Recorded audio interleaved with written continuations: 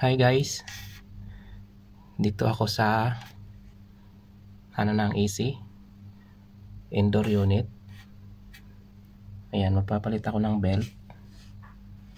Yan siya guys. Ang naka naka original dito guys na belt is uh, 31 B31. Tapos papalitan natin ng B30 ayan B30 kasi number ayan ayan guys B30 tapos B30 yan. Tapos yung original is B31 yan.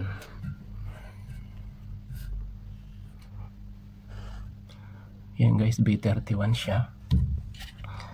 Para guys may kakabit natin yan B30 na yan. Luluwagan lang natin to ito may dalawang bolt dyan. Tsaka may isa dito sa gilid. At tsaka may isa din dito sa gilid na yan dyan. Dyan dyan dito. Yan guys. Ito guys balancer. Para yung pag adjust mo ng motor balance siya hindi siya tatagilid yan guys. Tara samahan nyo ako kung bago ka lang sa aking youtube channel baka pwedeng pakisubscribe mo at pakiclick mo rin ang bell button. Yan guys kasi may tama na yan ayan. Hindi po guys nakikita. May tama na kasi yan guys. Medyo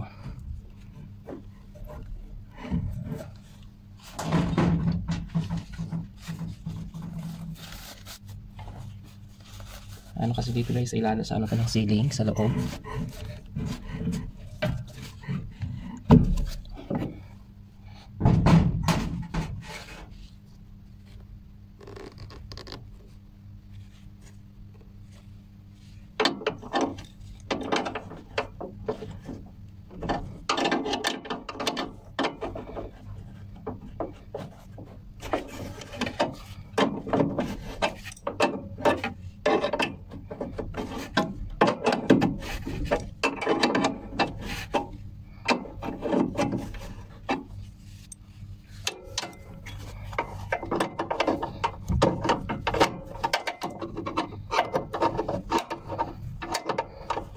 ganyan guys. May tama na yung belt huwag nyo nang hantay na maputol pa. Kasi iingay yan guys eh.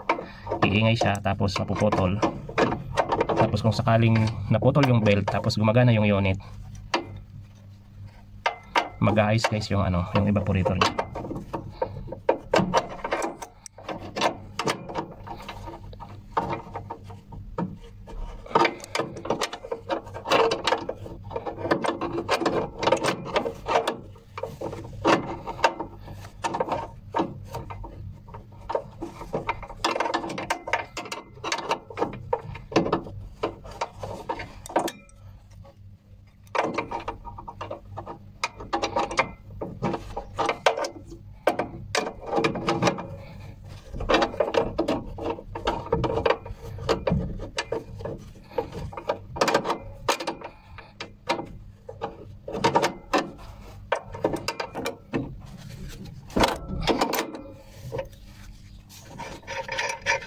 Ayan, pantay na.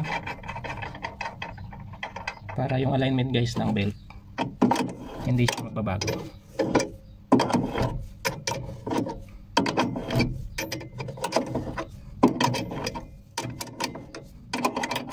Paki-subscribe mo guys kung bago ka lang sa aking YouTube channel. Paki-subscribe at paki mo rin ang bell button.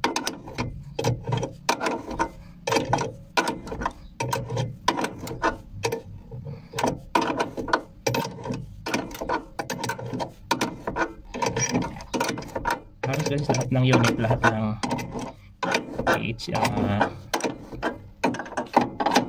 lahat ng hatchback unit na may belt. Mayroon naman guys mga ganito ang adjuster. Para pag nagpapalit o nag adjust madali na lang. And guys ito yung lumang belt. Ayan guys hindi mo mapapansin hindi mo siya papansinin maigi.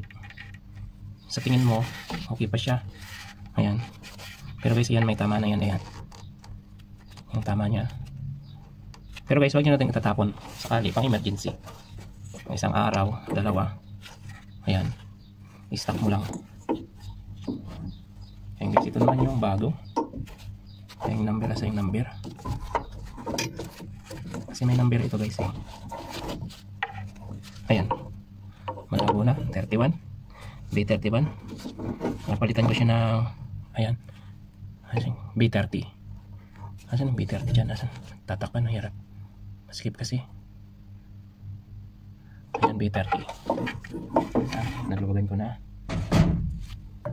Kakabit natin itong B30. Kung kakasya ba.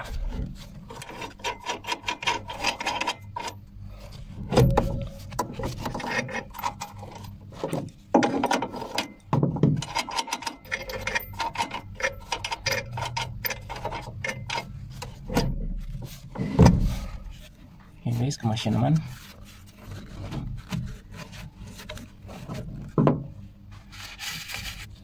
Tapos yan guys, kailangan hindi yan masyadong higpit yung belt. Kasi mayroon lang siyang ampere. Amperahe na minimum. Huwag ka lalagpas doon sa amperahe nitong motor. Mamaya guys, kukunin ko yung amperahe nito doon sa taas. Para alam natin kung ilan yung ampere.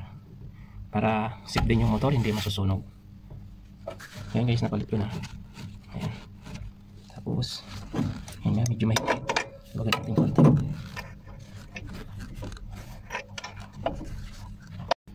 Ngayon guys, kasi medyo masikip yung nameplate. Pinicturean ko na lang ngayon guys, dapat hindi tayo lalagpas dito sa, kasi yung supply niya is 380. 380 supply nito guys, 3 piece. Tapos, dapat hindi tayo lalagpas dyan sa 7.10 ampere. Ayan guys, titingnan natin doon sa taas. Ito guys, malupit na unit. Yung unit dito sa baba. Tapos, pagtapos ka nang gumawa dito, aakyat ka sa rooftop para matingnan mo yung ampere. Ayan guys, na-fix ko na. Ayan, ilawan ko lang. Ayan guys, okay na lahat. Ayan. Okay na. Yung belt, okay na. Yung evaporator, hindi siya okay. Ayan, hindi siya okay. Kasi madumi.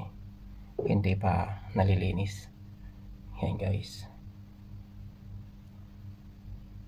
Ayan guys, yung drain pan. Ayan. Meron medyo so, dirt, so dirty. Ayan siya. Hindi pa inaabot ng paglilinis. Kailangan nito guys, pag naglinis is pressure washer. Ayan, para yung pati yung sa ilalim ng coil, sa loob ng coil matanggal. So guys, tingnan natin kung ilan yung ampere. Dapat di tayo lalagpas sa 7.10 ampere. Na ako sa outdoor. I-on natin yung breaker at tingnan natin yung ampere. Kung ilan yung ampere dito sa taas. Ito guys yung contactor ng fan motor doon sa baba.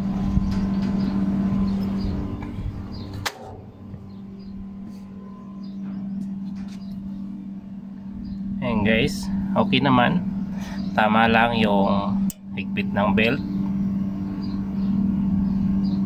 Ayan. 5.37. Yung minimum noon guys, 7.10. Line 2, line 1 tayo, line 2. Line 2. Para makita natin.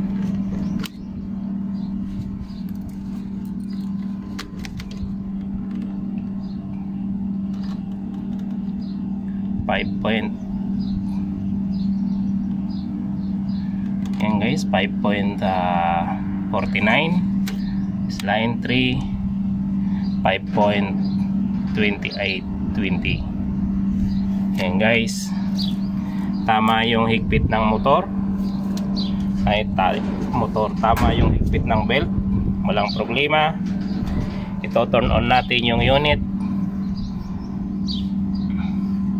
Yan guys, kung bago ka lang pala sa aking YouTube channel, paki-subscribe at paki-click mo rin ang bell button. Ngayon guys, turn off natin yung turn on natin yung unit. Ito guys yung safety switch ng outdoor. Ayan guys.